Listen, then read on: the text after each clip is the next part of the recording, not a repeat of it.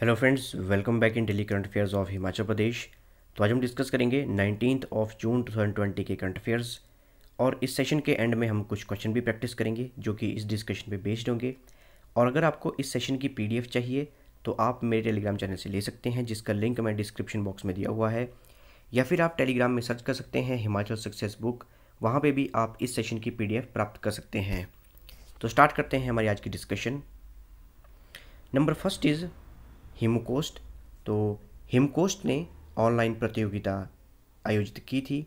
Online photography प्रतियोगिता आयोजित की थी।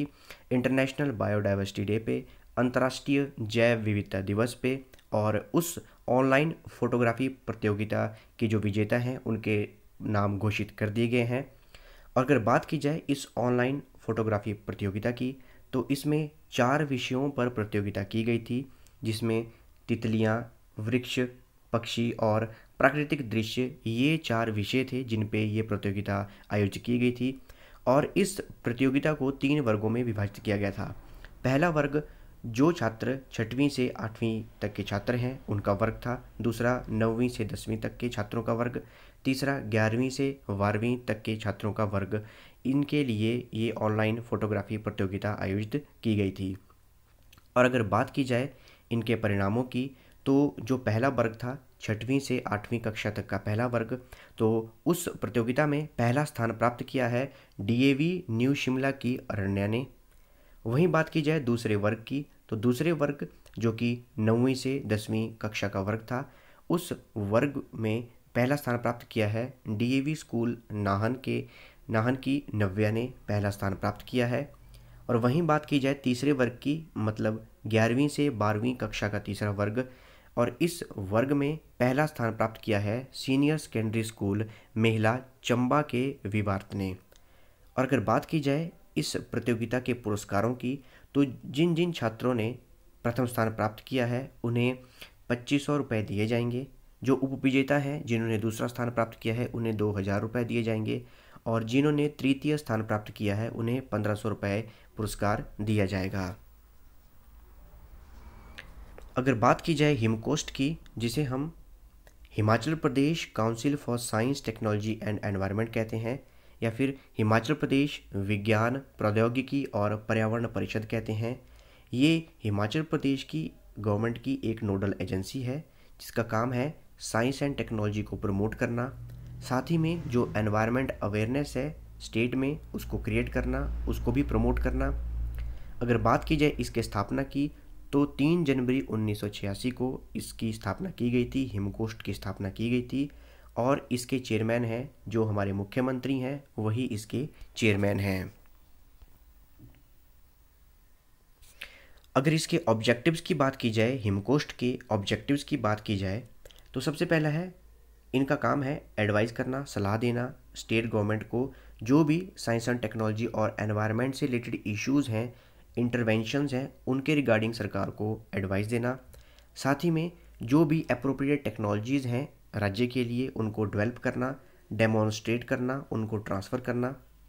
साथ ही में जो भी नेशनल और इंटरनेशनल साइंटिफिक इंस्टीट्यूशंस हैं ऑर्गेनाइजेशंस हैं, उनकी जो डेवलपमेंट है, उनको स्टेट के साथ एक्सचेंज करना और एक पूल क्रिएट करना और ये जो भी इन्वेंशंस हैं, उनको स्टेट के साथ एक्सचेंज करना। साथ ही में जो भी हमारी साइंटिफिक और टेक्नोलॉजिकल इनोवेशंस हैं, उनको प्रमोट करना पॉपुलाइज करना और डिसेमिनेट करना। साथ ही में जो भी हमारी साइंस एंड टेक्नोलॉजी की फैसिलिटीज़ हैं स्टेट में, उनको स्ट्रेंथन करना, उनको बढ़ावा देना।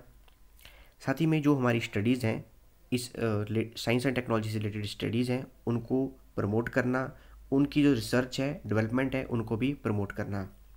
साथ ही में जो भी अदर यूनिवर्सिटीज़ हैं अदर स्टेट्स की यूनिवर्सिटीज़ हैं और जो भी अदर यूनिवर्सिटीज़ हैं उनके जो रिसर्च एंड डेवलपमेंट सेक्शंस हैं रिसर्च एंड डेवलपमेंट डिपार्टमेंट्स हैं उनके साथ एक लिंकेज इस्टेब्लिश करना।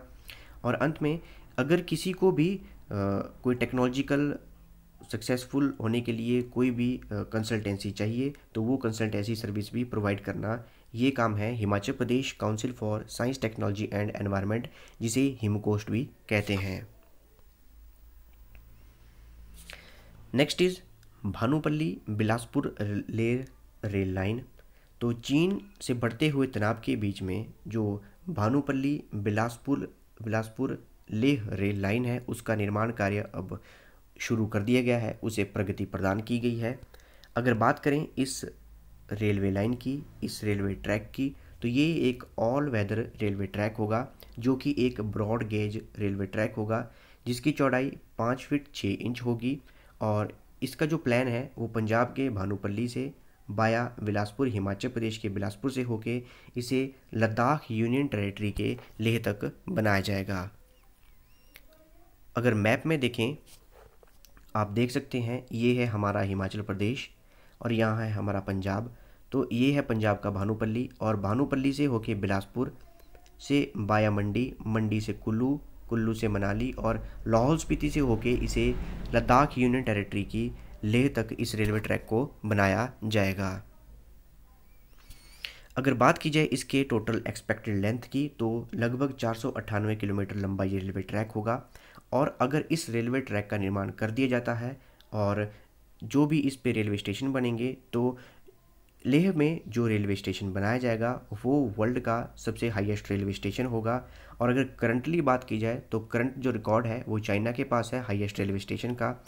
चाइना के किंग घाई जो तिब्बत में रेलवे स्टेशन है, वो वर्ल्ड का सबसे हाईएस्ट रेलवे स्टेशन है। अगर बात की जाए हाईएस्ट रेलवे स्टेशन की, जो हाईएस्ट रेलवे स्टेशन अगर ये बना तो कहाँ बनेगा? तो लेह के तांगलांग ला पे ये रेलवे स्टेशन बनेगा। आप देख सकते हैं, ये है लेह का तांगलांग ला। और जिसकी एक्सपेक्टेड जो हाइट है, वो लगभग सत्रह हज़ार पाँच सौ बयासी फीट है। ये अब सी लेवल है। और ये तांगुला रेलवे स्टेशन जो चाइना में है किंगघाई चाइना में है, तांगुला रेलवे स्टेशन, उससे भी हाइट पे ये बनेगा। और जो चाइना वाला रेलवे स्टेशन है क्योंगहाई रेलवे स्टेशन है, वो उसकी हाइट है सोलह हज़ार छः सौ छियासी फीट और जो भानुपल्ली लेह रेल लाइन मार्ग पे जो हाईएस्ट रेलवे स्टेशन बनेगा, उसकी हाइट होगी सत्रह हज़ार पाँच सौ बयासी फीट हाइट। अगर बात की जाए इसके लिंकेजेस की, अगर इस रेलवे ट्रैक का निर्माण हुआ तो इस रेलवे ट्रैक का जो लिंक है, वो या फिर कांगड़ा रेलवे ट्रैक के साथ इसको लिंक किया जाएगा, या फिर कालका रेलवे ट्रैक के साथ इसको लिंक किया जाएगा। अगर हम मैप में देखें, आप देख सकते हैं, ये है भानुपल्ली, पंजाब में और ये है बिलासपुर और यहाँ है कालका रेलवे लाइन, जो बद्दी तक एक्सटेंडेड है। जब इसका निर्माण होगा तो इसके जो लिंकेजेज हैं, वो बद्दी से बिलासपुर तक एक लिंक बनाया जाएगा। और ये है हमारी पठानकोट कांगड़ा रेलवे लाइन और इसका दूसरा लिंकेज जो है, वो मंडी तक बनाया जाएगा।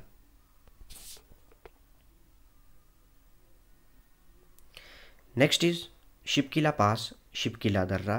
तो शिपकिला में कारोबार के लिए इस बार नहीं होगी लोगों की आवाजाही। जो व्यापारी हैं, उनकी कोई आवाजाही नहीं होगी। चीनी, चीन से बढ़ते हुए तनाव को देखते हुए ये निर्णय लिया गया है कि इस बार जो भी हम व्यापार करते थे, तिब्बत के साथ, अब उसे व्यापार को नहीं किया जाएगा। और हर वर्ष एक जून से शिप की दर्रे पर ये व्यापारिक आगमन शुरू होता था और लगभग 31 अक्टूबर तक ये आवागमन चलता था। और इस आवागमन की जो परमिशन है, जो अनुमति है, वो आईटीबीपी द्वारा हर वर्ष व्यापारियों को दी जाती थी। अगर बात की जाए शिप की दर्रा की तो शिप की दर्रा सिक्किम के नाथुला दर्रा और उत्तराखंड के लिपुलेख दर्रा की तरह ये भी काफ़ी महत्वपूर्ण व्यापारिक केंद्र है। जो तिब्बत के साथ व्यापार है हमारा, उसके लिए काफ़ी महत्वपूर्ण व्यापारिक केंद्र है। अगर हम मैप में देखें, आप देख सकते हैं, ये है हमारा इंडिया और यहाँ है शिप की पास किन्नौर में और ये उत्तराखंड में है, हमारा लिपू लेक पास, और ये है तीसरा नाथुला पास। इन तीनों ही, ये जो दर्रे हैं, ये काफ़ी महत्वपूर्ण हैं तिब्बत के साथ व्यापार के लिए। और अगर बात की जाए इन दर्रों की तो इन तीनों ही दर्रों पर भारतीय व्यापारी अपना सामान तिब्बत व्यापारियों को बेचते थे, और तिब्बत के जो व्यापारी हैं, वो अपना सामान भारतीय व्यापारियों को बेचते थे। अगर बात की जाए शिपकिला पास की शिपकिला दर्रा की तो शिपकिला पास किन्नौर ज़िले को तिब्बत से जोड़ता है और ये लगभग पंद्रह हज़ार चार सौ नब्बे फुट की ऊंचाई पर स्थित है फ्रॉम सी लेवल और इस पास के नज़दीक ही सतलुज नदी तिब्बत से भारत में प्रवेश करती है। वहीं बात की जाए, सतलुज नदी को तिब्बत में लांगकिन जांगबो के नाम से जाना जाता है और भारत का राष्ट्रीय राज्यमार्ग पाँच शिपकी ला तक जाता है। अगर हम मैप में देखें आप देख सकते हैं, ये है हमारा किन्नौर डिस्ट्रिक्ट, यहाँ है हमारा शिपकी पास और ये है सतलुज नदी। सतलुज नदी भारत में शिपकी पास के नज़दीक प्रवेश करती है, किन्नौर में प्रवेश करती है और तिब्बत में इसे लांगकिन जांगबो के नाम से जाना जाता है और शिपकी पास के नज़दीक एक गाँव है, खाब। खाब में स्पीति नदी सतलुज नदी के, में आके मिलती है और आगे ये भारत में प्रवेश करती है और आगे बढ़ती है। अगर बात की जाए ला शब्द की तो हमने काफ़ी बार देखा है कि ला शब्द का उपयोग किया जाता है। तो ला शब्द तिब्बती भाषा में दर्रे को कहते हैं। तो हम इसे शिप की दर्रा भी कह सकते हैं या फिर शिप की ला भी कह सकते हैं। तो ये थी हमारी आज की डिस्कशन। रिवाइज करते हैं हमने आज क्या क्या डिस्कस किया। सबसे पहले हमने डिस्कस किया हिमकोस्ट ने जो अवार्ड्स थे उनकी घोषणा की है, जो उनकी ऑनलाइन फोटोग्राफी प्रतियोगिता थी। उसके लिए जो चयनित किए गए हैं, जो जिनका प्रथम स्थान आया है, उन अवार्ड्स की घोषणा की गई है। नंबर सेकंड पे हमने डिस्कस किया भानुपल्ली बिलासपुर लेह रेल लाइन के बारे में और एंड में हमने डिस्कस किया शिपकिला पास के बारे में। तो अब हम कुछ क्वेश्चन प्रैक्टिस करेंगे जो कि इस डिस्कशन पे बेस्ड होंगे। तो स्टार्ट करते हैं हमारी question practice first question is in which year Himachal Pradesh council for science technology and environment जिसे हम हिमकोष्ट कहते हैं वाज एस्टेब्लिश्ड हिमाचल प्रदेश विज्ञान प्रौद्योगिकी और पर्यावरण परिषद हिमकोष्ट की स्थापना किस वर्ष की गई? तो ये है हमारी चार ऑप्शंस और आपके पास पाँच सेकंड इसको अटैम्प्ट करने के लिए अटैम्प्ट कीजिए, आपका टाइम शुरू होता है अब।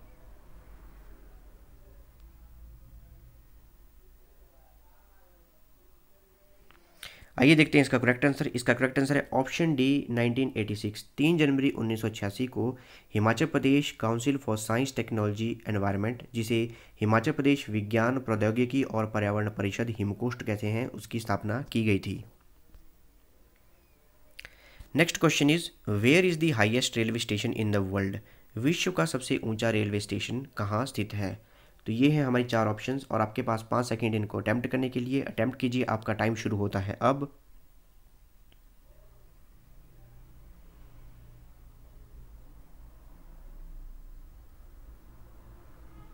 आइए देखते हैं इसका करेक्ट आंसर इसका करेक्ट आंसर है ऑप्शन डी चाइना तो चाइना के किंगघाई रीजन में टांगुला रेलवे स्टेशन है। वो वर्ल्ड का सबसे हाईएस्ट रेलवे स्टेशन है। Next question is Sutlej river enters in which district of Himachal Pradesh from Tibet Sutlej नदी तिब्बत से हिमाचल प्रदेश के कौन से ज़िले में प्रवेश करती है? तो ये है हमारी चार ऑप्शंस और आपके पास पाँच सेकेंड इस क्वेश्चन को अटैम्प्ट करने के लिए अटैम्प्ट कीजिए, आपका टाइम शुरू होता है अब।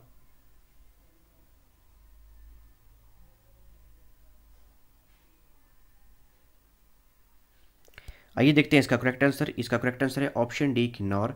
सतलुज नदी भारत में और हिमाचल प्रदेश में शिपकिला पास के पास किन्नौर डिस्ट्रिक्ट में तिब्बत से प्रवेश करती है। तो ये थी हमारी आज की discussion thanks for watching video do like share and subscribe my channel